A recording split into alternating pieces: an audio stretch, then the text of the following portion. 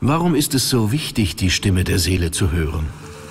Weil sie die Reinform, die feinstoffliche Idee, das Ideal deiner selbst ist. Körperlos und somit nicht der Materie unterworfen. Sie lebt nirgendwo und überall sozusagen, ohne Grenzen und Beschränkungen. Und somit muss sie nicht in der grobstofflichen Welt ums Überleben kämpfen. Ihr Blick ist nicht getrübt von Ängsten, Sorgen und anderen Gefühlen, die dir so oft ein Brett vorm Kopf bescheren. Aber genau mit solch einem Brett vorm Kopf triffst du die meisten Entscheidungen. Entscheidungen, die nicht repräsentieren, wer du wirklich bist. Hättest du die ungetrübte, glasklare Sicht deiner Seele, würdest du ganz andere Entscheidungen treffen. Und diese würden dich keinesfalls ins Verderben stürzen. Denn die Ängste und Sorgen, die dich zu Verstandesentscheidungen bewegen, bewahrheiten sich in den meisten Fällen gar nicht. Und so lässt du dir vor lauter negativen Gefühlen oft viele tolle Gelegenheiten entgehen. Warum ruft dein Verstand all diese Ängste, Sorgen und Zweifel in dir hervor? Weil er dein Kontrollorgan ist. Er kümmert sich darum, dass du immer schön in deinem gewohnten angespannten Alarmzustand bleibst, damit du deine Rolle als wer du sein solltest, ja gewissenhaft erfüllst. Aber sei nicht böse auf deinen Verstand. Er macht nur das, was du ihm schon dein ganzes Leben aufträgst. Er soll deinen Fokus auf das richten, was du, dein Umfeld und die konventionelle Gesellschaft als richtig und wichtig definiert haben. Und das ist nun mal in erster Linie der Selbsterhalt und Überlebenskampf. Dein anderer Berater hingegen, deine Seele, würde deinen Fokus gerne auf wer du wirklich bist lenken. Im Laufe deines Lebens hast du es dir jedoch angewöhnt, dich rein auf den Verstand zu verlassen. Dabei hat sich das Tor zu deiner Seele immer mehr geschlossen. Und deswegen sind ihre Impulse im Vergleich zum anhaltenden, lautstarken Gerede deines Verstands so leise. Ich will dir zeigen, wie du Seele und Verstand gemeinsam nutzen kannst.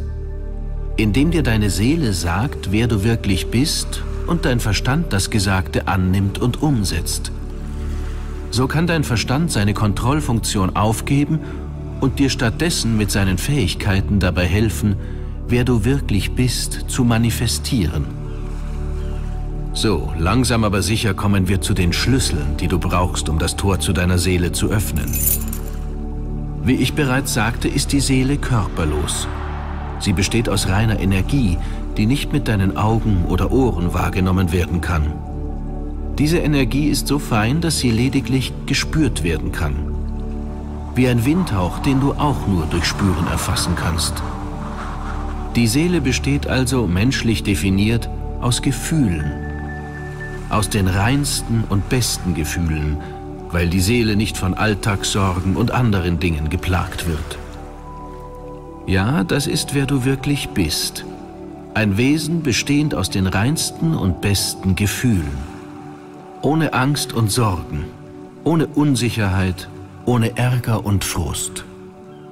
Und wann kann man mit diesem Wesen am besten kommunizieren, beziehungsweise mit einem Gesprächspartner allgemein?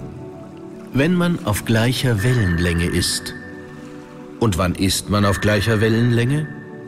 Wenn man auf gleiche Art und Weise fühlt. Es geht bei den Schlüsseln also um das Fühlen.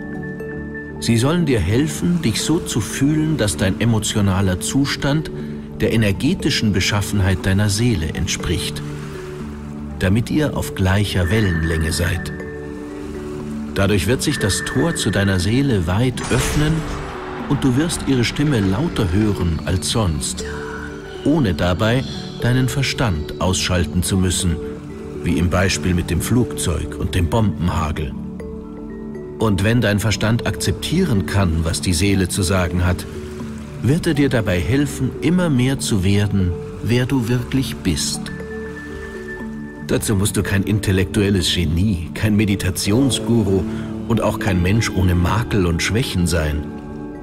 Ich war nichts davon, als ich einst offen wurde für wer ich wirklich bin.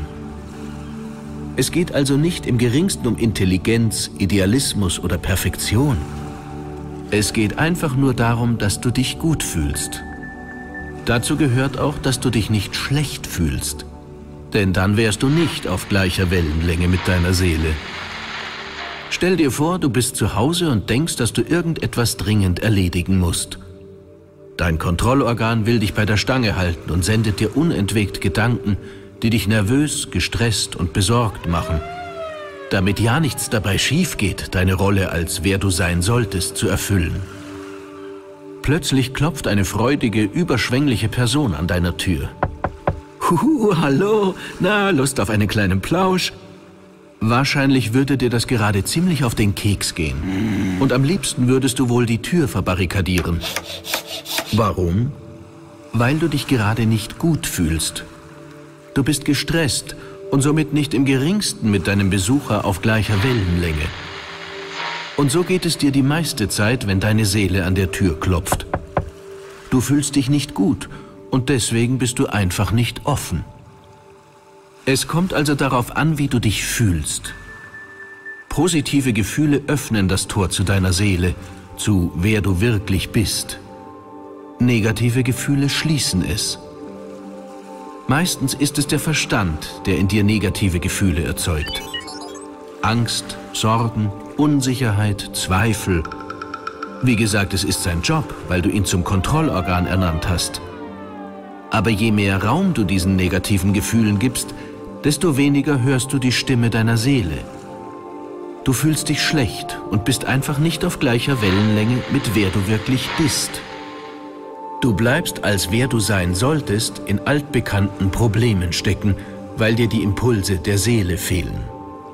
Und vom Verstand wirst du diese Veränderungsimpulse nicht bekommen. Denn ganz gleich, wie unzufrieden du bist, für deinen Verstand wären die meisten Veränderungen inakzeptabel. Er müsste sich dafür in unbekanntes Terrain begeben, das er weder analysieren noch kontrollieren kann. Für deine Seele hingegen ist gar nichts unbekannt. Als körperloses Wesen ist sie nicht Raum und Zeit unterworfen. Sie weiß, was auf lange Sicht das Beste für dich ist, selbst wenn du in der gegenwärtigen Situation vielleicht nicht weißt, warum es das Beste für dich ist. Aber je mehr du dich so fühlst, wie deine Seele energetisch beschaffen ist, also je besser es dir geht, desto mehr gelangst du mit ihr auf gleiche Wellenlänge und desto lauter hörst du ihre Stimme. Deine Seele wird dich dann an der Hand nehmen und dich sicher hinein ins Unbekannte führen. Du wirst dein altes Ich zurücklassen und dich auf den Pfad zu, wer du wirklich bist, begeben. Auf diesem Pfad wirst du lernen, die Welt und ihre Herausforderungen auf neue Weise zu verstehen. Du wirst dich immer mehr von innen heraus vollkommen und sicher fühlen, anstatt zu versuchen, diesen Zustand durch irgendetwas im Außen zu erlangen. Denn egal, was du im Außen tun oder erreichen würdest, egal wie viel Geld du verdienen würdest, dein Gefühl der Unsicherheit und Unvollkommenheit würde bleiben. Vielleicht könntest du dir im Außen eine perfekte Situation schaffen, mit einem Maximum an materieller Sicherheit und Vollkommenheit. Aber deswegen würdest du dich nicht sicher und vollkommen fühlen. Vielleicht würdest du eine prunkvoll verzierte goldene Tür haben, aber du würdest die emotionale Tür vergessen, vor der ein ganz bestimmter Besucher schon so lange wartet, um dir zu zeigen, wie du wirklich sicher und vollkommen werden kannst.